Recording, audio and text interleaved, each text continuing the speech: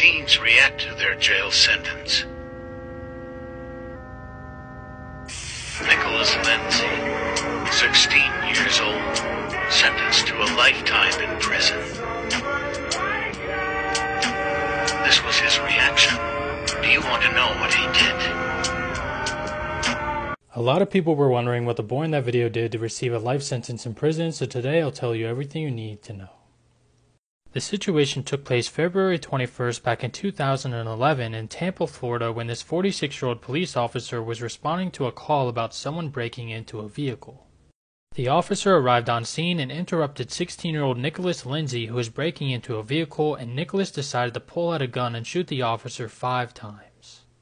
Officer David Crawford sadly passed away, and Nicholas ended up being found and arrested and confessed to what he had done. He was charged with first degree murder and was sentenced to life in prison.